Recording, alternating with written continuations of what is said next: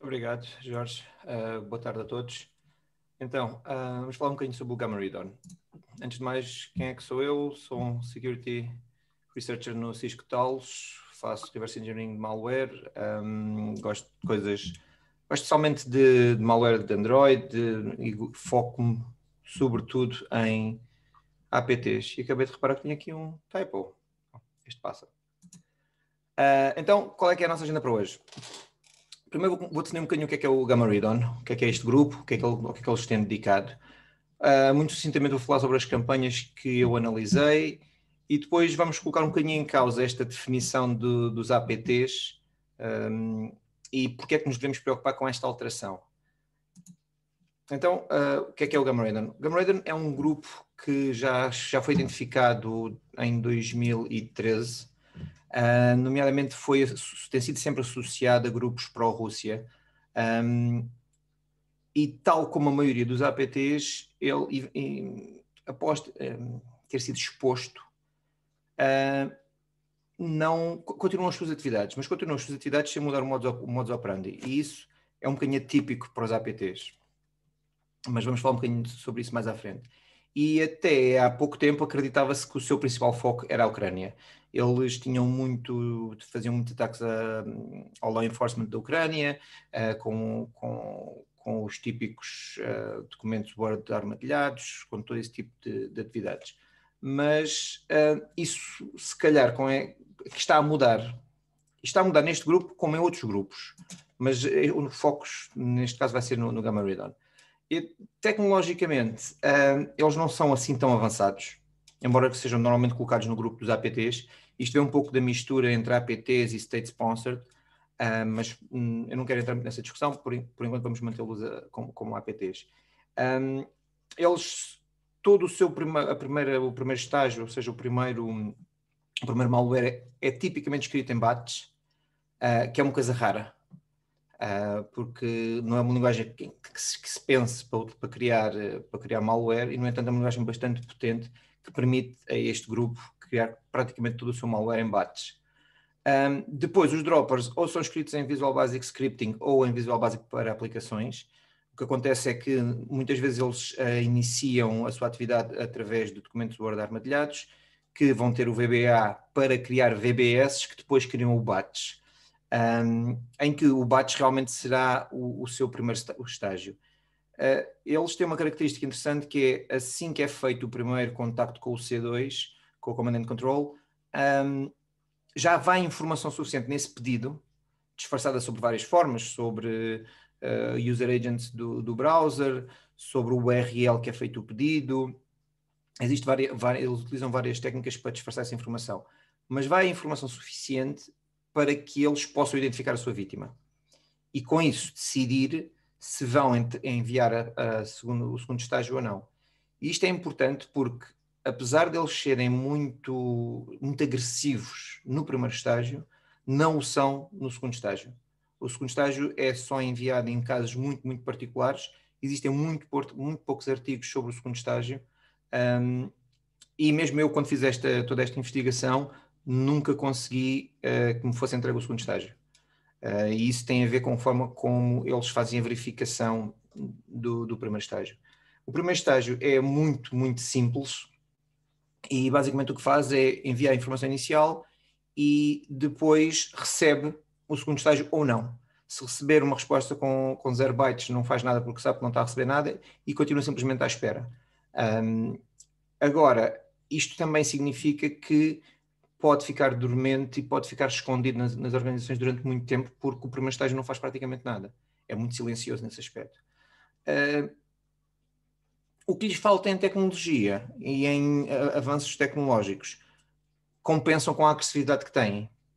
E aqui o ponto, como também vamos falar mais à frente, aqui o ponto importante é que um grupo APT tipicamente não é um grupo que faça, que seja, pode ser agressivo na forma como, como ataca e pode ser agressivo nos alvos que vai atrás, mas não é agressivo em quantidade de atividade, não é agressivo em, em, na quantidade de, de, barulho, entre aspas, que faz na, na internet e no, no, na quantidade de IPs e de hosts que, que, utiliza.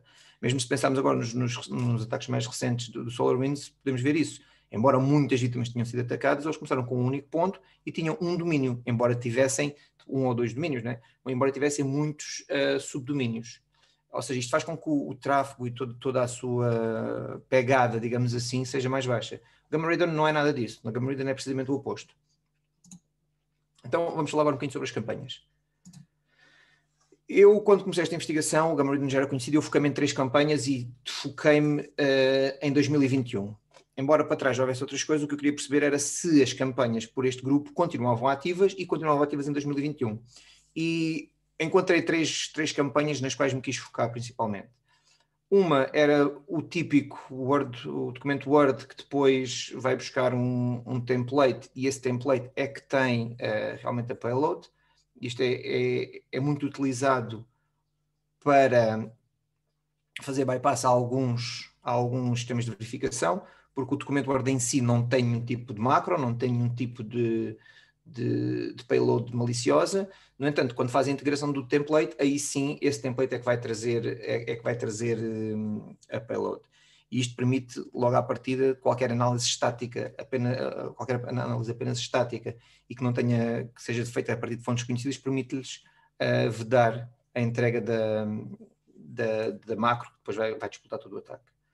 Uh, um outro, uma outra campanha uh, na prática tinha um, era um instalador de Zoom que tinha sido recondicionado, tinha sido alterado para instalar o, o Zoom, mas também para instalar o primeiro estágio.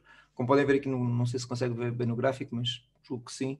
Uh, há quando há uma execução do, do, do, instalador, há duas linhas de execução. Uma faz realmente a instalação do, do, do Zoom, completamente legítimo, sem qualquer tipo de problema, mas a outra faz a execução do, do primeiro estágio, que depois fica persistente. Uma outra campanha que eles tinham também eh, foi a criação de um fecheiro de texto com 68 megas, uh, em que uh, 99,9% é por lixo e a macro, neste caso é um VBS, que depois vai fazer a criação do batch, é apenas o, no final do fecheiro o, o, porque os 68 megas? Os 68 megas têm algo, por um lado, muitos do, dos, dos, dos, dos, antivírus poderão considerar isto como algo uh, não malicioso, porque é um fecheiro muito grande. Mas existe uma outra razão, é que por omissão o Virus Total, que é uma das ferramentas mais utilizadas para fazer verificação e para fazer a, a análise, ou, ou, pelo menos como repositório, uh, por omissão não recebe fecheiros maiores que 60 megas ou 65 megas.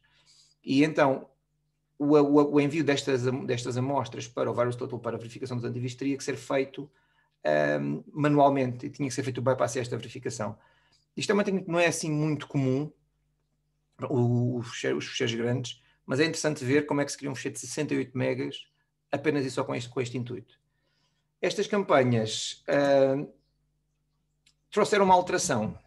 Como eu vos disse inicialmente, o Gamma Ridon era visto como algo que para a Rússia, que atacava sobretudo um, a Ucrânia e alguns países limítrofes, mas não havia uma noção de que isto seria um APT que atacaria indiscriminadamente à volta de qualquer país do mundo. Uma destas campanhas tinha um, um, uma lista interessante e era uma lista de IPs. Aquela lista de IPs, o que fazia era, assim que o primeiro estágio começava a executar, ele obtinha o seu IP e depois comparava com esta lista. Se o IP estivesse nesta lista, então ele parava imediatamente a execução, nem sequer contactava o C2. Isto levanta-nos uma questão interessante, que quando nós fomos ver a distribuição desta lista de IPs, que eram há cerca, de 1700 IPs, nós chegamos à conclusão rapidamente que o Gamma Ridon não queria atacar, entre aspas, não é? uma série de países no mundo, o que não faz sentido, obviamente sendo a Rússia um, um dos maiores, uh, o país com mais IPs a evitar, uh, havia uma distribuição no mundo inteiro. Mas ao mesmo tempo isto não faz sentido pensando que um grupo que tem a sua uh, atividade muito contida, em que faz, tem uma, uma victimologia muito limitada a um certo país, uh, não faz sentido ter uma lista de IPs a evitar no mundo inteiro. Claro que se pode considerar que alguns desses IPs serão sand, uh, sistemas de verificação tipo sandbox, ou serão IPs tipo VPNs ou, ou, ou Tor, ou serão IPs conhecidos de, de entidades de polícia de outros países do mundo. Ainda assim, um, não faria muito sentido, não, não fazia muito sentido. Isto, na altura, levou-nos a questionar o porquê. Ainda mais quando esta lista continuava a fazer parte de uma campanha muito específica e tinha sido atualizada. E são cerca de 1.700 IPs, são muitos IPs, para uma preocupação tão grande. Com um, para um APT que é extremamente agressivo. Então nós continuamos a investigar e decidimos tentar perceber então onde é que estão as vítimas. Para isso, o que fizemos foi obtivemos, nós tínhamos uma lista de, de domínios que sabíamos que eram utilizados quer para, para fazer eh, o primeiro estágio de, de, de command and control, ou para fazer o hosting do, dos templates, do, dos documentos Word, e portanto ficámos nessa lista, nessa lista de domínios e fomos ver exatamente quantas vítimas e qual era a distribuição a nível mundial uh, das vítimas que estavam a contactar esses IPs. E a outra opção que tínhamos aqui era, será que eles estão se isto acontecesse, se isto fosse uma possibilidade, então será que, Gama, que, que o grupo Gamma Ray estava a diversificar a sua atividade? Porque qual é que era o objetivo? Este grupo sempre foi uh, muito focado. E então, quando obtivemos essa informação, tivemos uma surpresa. O foco das vítimas tinha mudado, e isto são dados apenas e só desde 1 de, de janeiro deste ano, o, embora as campanhas, a maioria delas tivesse começado muito antes disso, uh, nós decidimos focar-nos apenas neste, neste período. E continua a existir um foco na, na Ucrânia, no entanto, uh, a dispersão era completamente diferente. Era um bocadinho alinhada com aquilo que nós estávamos a ver nos países a evitar, mas não era de todo uma, uma uma dispersão em que a maior parte das vítimas estivesse na Ucrânia. Antes, pelo contrário, nós chegamos à conclusão que a maior parte das vítimas estava realmente nos Estados Unidos. Uh, ainda que tivéssemos feito uh, alguma limpeza para evitar tudo o que seja sandbox e todo esse tipo de, de, de, atividades de verificação, ainda assim os Estados Unidos continuam a estar na, na, num dos primeiros.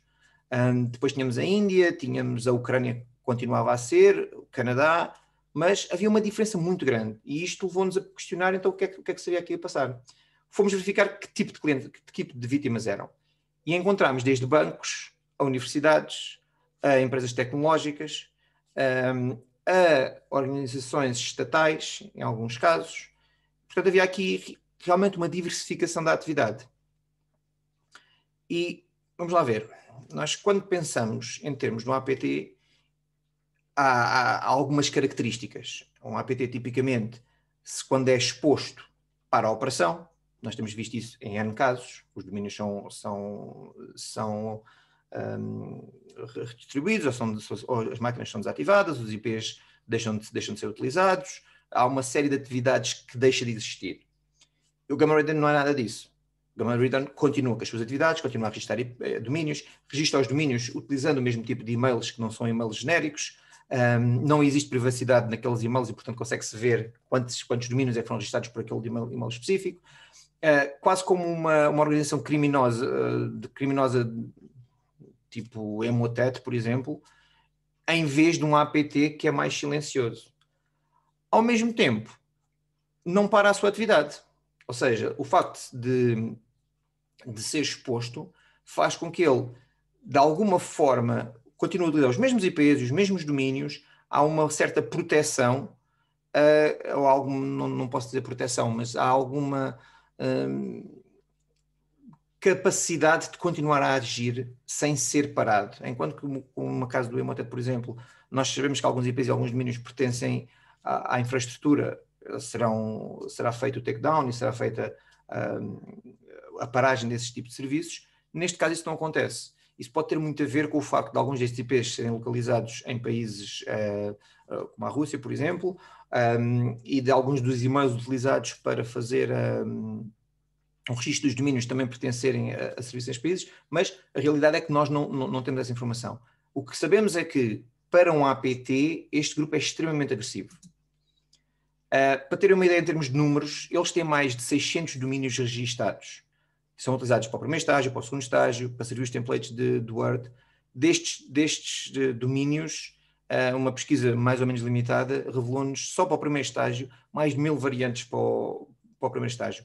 o que, se pensarmos bem, não é assim tão complicado de se fazer, uma vez que é, é um bates e, portanto, não é assim muito, muito complexo, mas é, uma, é um número muito grande de, de, varia, de variantes, da mesma maneira que é um número muito grande de vítimas, 43 países, cerca de 1.700 IPs associados a estas vítimas. Isto é tudo menos aquilo que se define por um APT. Um APT não, não tem tipicamente 600 domínios para trabalhar, pelo menos associados a duas ou três campanhas. E, portanto, havia aqui, isto levantou-nos muitas questões do ponto de vista de que tipo de APT é este? Que tipo de APT é este que associa-se a, a, ser um APT devido às vítimas, que, devido ao seu foco inicial em alguns países e devido à forma como, como atacava, mas ao mesmo tempo tem uma agressividade que mais parece um, um grupo de, de crimeware à, à procura de, de ter mais vantagens financeiras. Por outro lado, também, este grupo não tem nas suas atividades nada que pareça que seja diretamente, que esteja diretamente à procura de ganhos financeiros. O que é que eu estou a querer dizer com isto? Nunca se viu o Gamma Redon a distribuir um ransomware para extorquir dinheiro. Nunca se viu um Gamma Redon um, a fazer uh, transações financeiras nos bancos, por exemplo, para transferir dinheiro, como, como, como é associado, por exemplo, ao Lazarus Group. Um, e, portanto, há aqui alguma, alguma dúvida sobre qual é que é realmente o verdadeiro intuito quando eles começam a diversificar as suas atividades. E, portanto, é um APT ou não é um APT? Porque, se por um lado parece agir como se fosse um APT, por outro lado, uh, tem uma infraestrutura e tem uma, uma dispersão de vítimas que não se parece nada com um APT. E aqui entra um bocadinho a, a questão que isto não é o único APT com que isto está a acontecer. Uma das nossas teorias em relação a isto é uh, o facto de haver, de, de, haver uma necessidade de criarmos uh, uma distribuição desta definição do APT. Por um lado, uh, nem todos são iguais. por outro lado, nem todos os APTs são state-sponsored. E essa é uma grande diferença. Um, existe uma. Um, devia, existe aqui uma necessidade de criar um, dois níveis, digamos assim. Se este grupo que faz uma, um, um reconhecimento inicial e claramente trabalha com grupos que, que têm eh, outros, outros interesses. Este grupo pode perfeitamente estar a trabalhar para, como um, um, uma, um, grupo de reconhecimento inicial que depois entrega a informação que encontra a outros grupos para fazer os ataques. E isto é algo que se vê, por exemplo, no mundo do crimeware. Nós temos no, no mundo do crimeware, temos grupos que a única coisa que fazem é recolher credenciais, que depois vendem a outros grupos que fazem uh, o, o, compromisso do, dos sistemas e que espalham os, o, o, malware. E, portanto, ou temos também grupos que fazem a operação do malware. Existe uma, uma estratificação de, das atividades de, no mundo do crimeware. E no mundo do, dos APTs também existe, e nós sabíamos, nós sabemos que isso existe dentro de grupos. Uh, o que se calhar temos que começar a pensar é até que ponto é que isto também existe entre grupos. Agora, quando se fala também na diversificação, temos que, temos que pensar de outra forma, que é se este grupo realmente trabalhava para um grupo que tinha interesses muito específicos, uh, então o, porquê é que começou a sua diversificação? Porquê é que ele começou a atacar os Estados Unidos, ou, porquê é que ou instituições nos Estados Unidos, ou porquê é que ele começou a atacar bancos e universidades? E aí pode ter a ver, e temos que ter isto em atenção, que é que este seja um grupo misto, em que tenha um core ou nasceu de uma, de um, de um, com um intuito uma atividade muito específica, neste caso as incursões contra a Ucrânia. No entanto, em alguma altura pode ter acontecido que ele necessita de diversificar as suas atividades porque financeiramente já não é viável, ou porque precisa de, de outros fundos, ou porque uh, aquilo que lhe foi pedido também mudou. Temos que ter todas estas, estas, estas, estas opções em mente. O problema aqui é que quando pensamos neste tipo de operações, também temos que pôr em causa como é que nós nos defendemos delas. Ou seja, se até agora muitas companhias, muitas organizações pensam que, ok, eu não estou na mira de um APT porque eu não tenho nenhum tipo de, de atividade uh, que o justifique, uh, então elas vão se defender de uma certa forma, porque os recursos são limitados, quer queremos, quer não. E se calhar quando tem que se fazer priorização uh, de algumas atividades, se calhar focam-se mais num tipo de defesa em vez de outro tipo de defesa. Agora, o que se passa é que quando temos um grupo, um, um, grupo que claramente até agora tem sido identificado como um APT, mas que passa a ter a agressividade daquilo que é um, um grupo de crimeware, então temos um problema que juntamos o, o digamos o, o, pior de dois mundos, que é a agressividade de um grupo de crimeware com, uh, com a sua capacidade de agir com a complacência de grupos que estão afiliados a Estados. E isso permite-lhes manter as suas operações durante muito mais tempo, sem terem que estar preocupados com aquilo que um grupo de crimeware tipicamente está, que é manter a sua infraestrutura a trabalhar, não ser apanhado, um, não mandarem, não fazerem o takedown de tudo o que são o, o, que são servidores e infraestrutura. E isso é algo que nos deve preocupar. E é, é uma tendência que, se, que eu tenho visto noutros casos. Existe um outro grupo uh, que é o Prometheum, que é um, um, um, grupo que eu também já escrevi há, há coisa de dois ou três meses sobre eles, e eles também uh, diversificaram bastante a sua atividade. Inicialmente eles estavam bastante focados um, ehm, em países à volta da, da, Turquia e onde existia de uma diáspora turca. Ehm, neste momento, eles estão espalhados pelo mundo inteiro em que a sua atividade muda completamente. E também são um grupo que não exige, que quando se pensa neles, também tem uma infraestrutura grande, também não param, também não têm um ganho financeiro direto visível, ou seja, tem tudo a ver com este grupo também.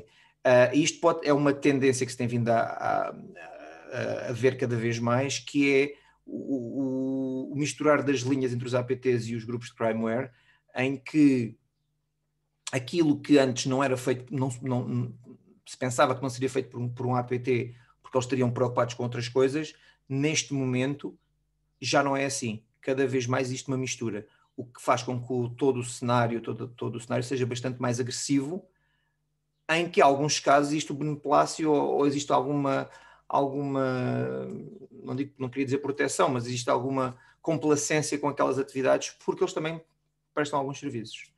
Um, e pronto, era isto que eu tinha a dizer sobre, sobre o Gamma Radar. O Gamma Radar é um exemplo desta, desta nova tendência que temos que ter em mente pode vir realmente a causar, a mudar um pouco a forma como os, as, as, equipas de segurança defendem as suas organizações. Não sei se temos tempo para perguntas ou não. Uh, temos tempo para temos perguntas. perguntas. Vou só interromper a gravação